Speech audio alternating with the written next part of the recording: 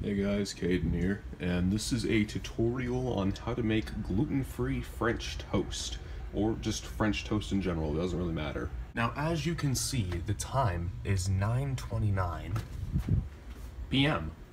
Um, now you might be wondering why I'm making French toast at 9.29, and that's because nobody at my house is home and I can't really find anything else to eat, so I figured I'd probably make this and make a video out of it, so what the hell. Alright, so as for what you're gonna need, you're gonna need, um, I don't, I don't know if you specifically need this, but um, whenever my mother has made French toast and all the times that I've done it, we've used a dish that looks something like this. So if you have this, use it, and if not, I'm sure a bowl will work just fine. And you're also gonna need eggs, milk, and cinnamon. Now, first thing you wanna do, um, to get started, take your pan, then put the burner to about like medium high heat. And that should be doing just fine. Move the camera over here so you guys can see what I'm doing better.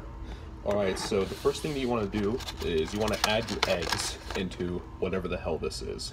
So basically, the, the rule of thumb that I go off of is that the amount of pieces of bread that you are using determines how many eggs you'll be using. So um, for this, I have four pieces of bread that I'm going to be making into toast. So um, you'll generally generally want to use about half the amount of eggs that you are using bread. So I'm to be using two eggs for this.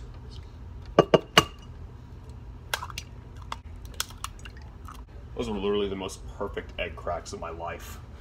Wash your hands in case you get any egg on you so you don't get salmonella. Next thing you want to do is add cinnamon.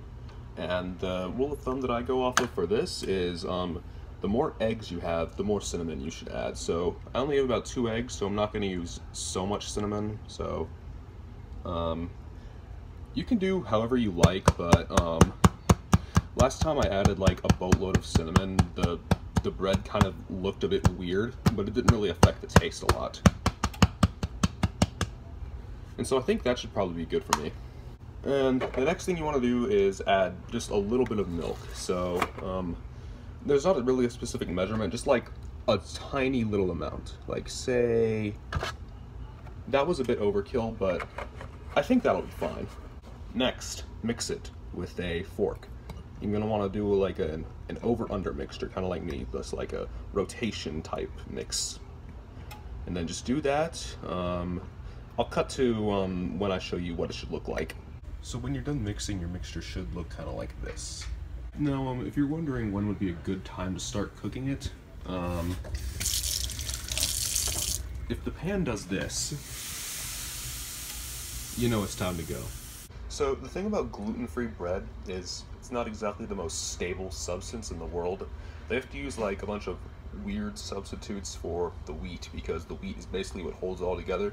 So it's obviously not as strong as regular wheat, so it's really easy to just fall apart. And it very easily falls apart in liquid. So whenever you are um, putting it in here, you're gonna want to like dip it quickly, like on each side. So I'll go ahead and show that off.